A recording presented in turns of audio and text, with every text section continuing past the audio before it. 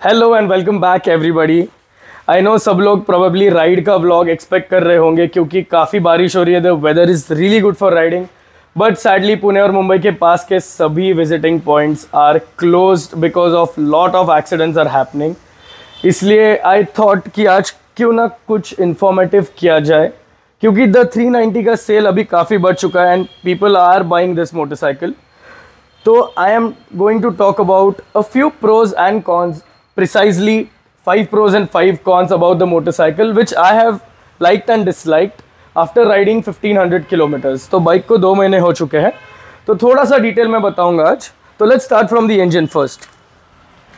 so engine के बारे में बात करें तो ऑब्वियसली सबको नॉर्मली फिगर्स तो बताई है क्योंकि मैंने लास्ट व्लॉग में पहले बोला था। तो परफॉर्मेंस की बात करते हैं। हाईवे पे ये इंजन काफ़ी अच्छा परफॉर्म करता है। सिटी में भी काफ़ी अच्छा परफॉर्म करता है। पावर काफ़ी ज़्यादा अच्छा है इंजन का। But let me tell you that इसका पावर डिलीवरी जो है, वो पूरा हाई आर पे है। लो एंड टॉर्क और पावर काफ़ी कम है बाइक में।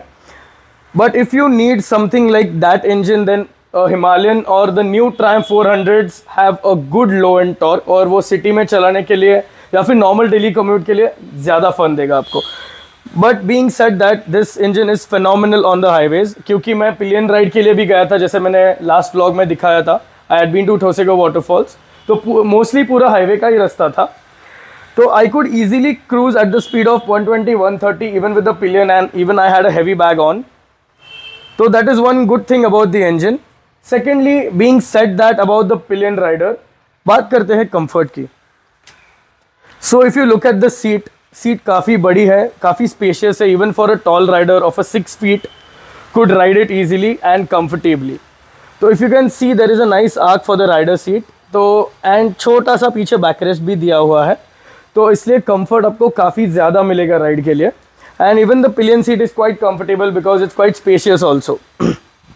तो इसके बाद हम लोग बात करेंगे माइलेज की. तो हाईवे के राइड के बाद जो मैंने नोटिस किया है उस दिन मैंने फोर्टीन हंड्रेड रुपीज़ का फ्यूल डाला था एग्जैक्ट और उसके बाद अभी तक मैं वही फ्यूल पे चला रहा हूँ। That that ride was almost one week back तो सिटी में मैं थोड़ा घूम रहा हूँ। तो रेंज की बात करूँ तो अभी 340 किलोमीटर्स हो चुका है एंड फिर भी 30 किलोमीटर्स रेंज दिखा रहा है मुझे। तो that is really commendable for a 390 CC engine making about 40 bhp that's something really great that K T M has worked on I appreciate that तो अप्रोक्सी अप्रोक्सीमेटली मेरे हिसाब से 33-34 का माइलेज मिला होगा मेरे हिसाब से। Now the last point about the motorcycle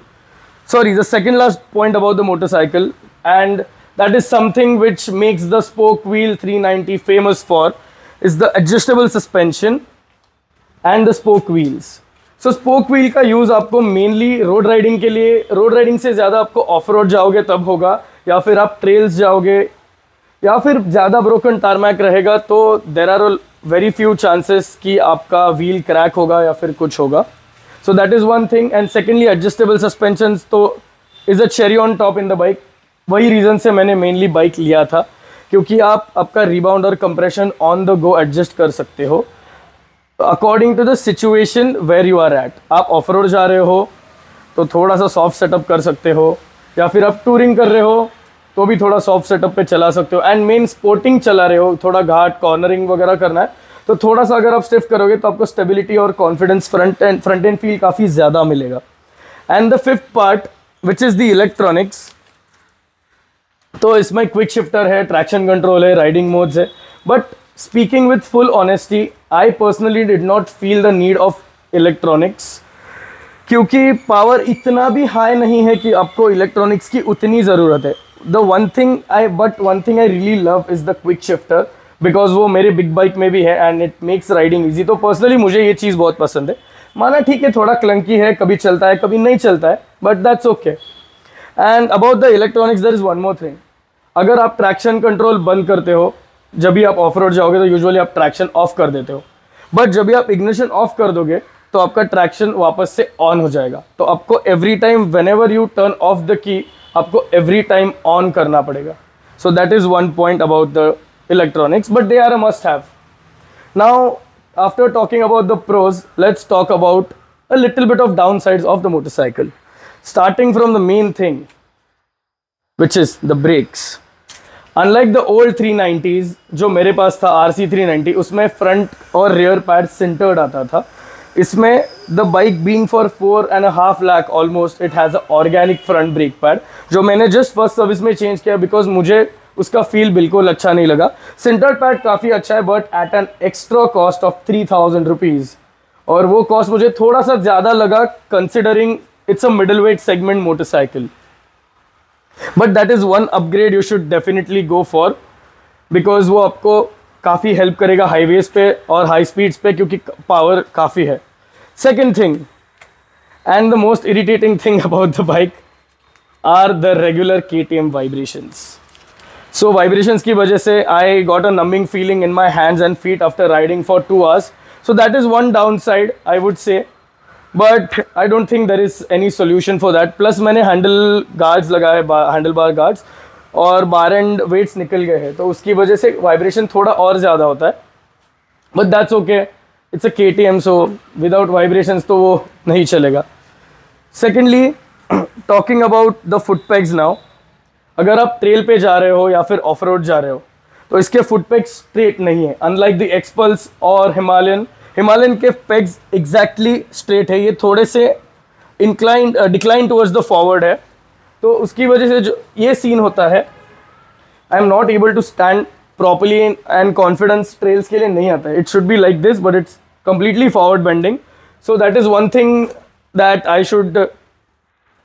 say that ktm might be working upon henceforth that is one upgrade this is really really necessary तो उसके बाद बात करेंगे actually this is a pro and a con जैसे मैंने spoke wheel के बारे में आपको बताया spoke wheels can be advantage but also can be a disadvantage because this is the reason there is no centre stand with the motorcycle and sadly इसके दोनों wheels ट्यूब्ड है ना कि ट्यूबलेस तो अगर आप अकेले कहीं जा रहे हो ट्रेल्स पे या फिर कहीं पे भी अकेले ट्रैवल कर रहे हो and you get a puncture then may God help you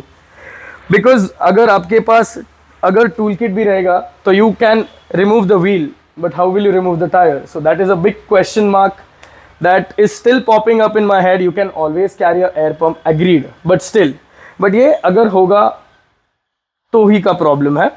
उसके बाद और एक डाउन साइड्स है, अगर आप ऑफ़ रोड जा रहे हो या फिर कहीं कीचड़ में जा रहे हो। Imagine you are going to Ladakh और उधर डेफिनेटली 99 परसेंट तो बारिश रहती है and you have this stock fender on now the thing with stock fender is first of all इसका क्वालिटी तो थोड़ा सा, ये देखो, काफ़ी फ्लेक्स है इसमें। ठीक है that's okay but the main thing is the gap अगर यहाँ पे कीचड़ जाएगा